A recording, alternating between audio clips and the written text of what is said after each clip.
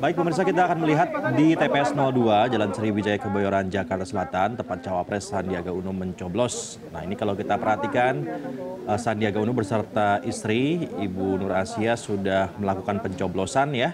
Ya. Tadi sudah kita lihat gambar di mana masing-masing berada di belakang bilik dan memberikan suaranya.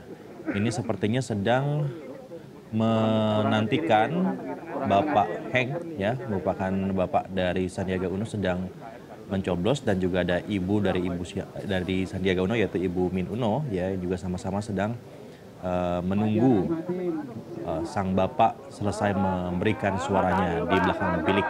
Tuh, karena kita tahu bersama ini berlaku juga untuk seluruh warga Jakarta.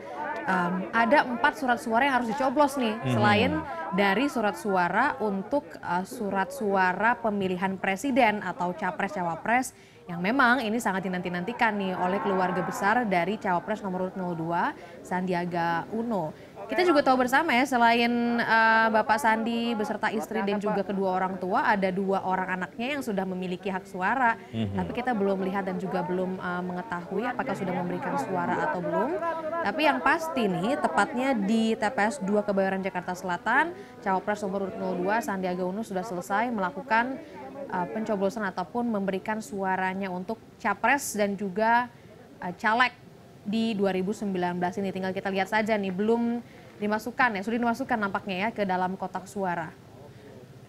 Ya kemarin dua putrinya, oh ini dia ya, Baru akan ini masuk. baru akan mem- Memasukkan. memasukkan surat suara ke dalam apa ini namanya kotak, suara. Kotak suara yang terbuat dari kardus itu loh, Ya. yang belakangan ini viral di mana-mana iya, ya. viral ya mengalahkan pemilunya sendiri ya. Betul sekali. Saking viralnya. Alhamdulillah kotak suara Jakarta tidak ini. kebanjiran ya, jadi semuanya aman, tidak seperti di daerah lain nih yang ada kebanjiran lah, kemudian kotak suaranya rusak. Tapi di lewat selain itu ya, tentu antusiasme masyarakatnya tinggi nih. Ini kita lihat bersama bahwa eh, Bapak Sandi beserta istri tidak hanya memasukkan satu surat suara karena ada empat surat suara yang harus dicoblos dan dipastikan sah Utomo 176 diberikan hak suaranya pada wilayah DKI Jakarta. Ya, jadi ini itu- beda nih sama wilayah lain kan ada lima surat suara ya. Betul betul ya.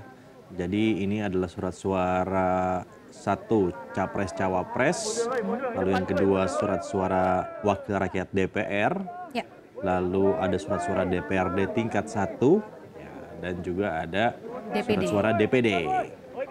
warnanya juga beda-beda nih ya. Betul. Ada warna abu-abu untuk surat suara presiden wakil presiden, warna kuning untuk anggota DPR RI, kemudian juga ada warna merah untuk anggota DPRD RI, warna hijau ya untuk DPRD. Iya.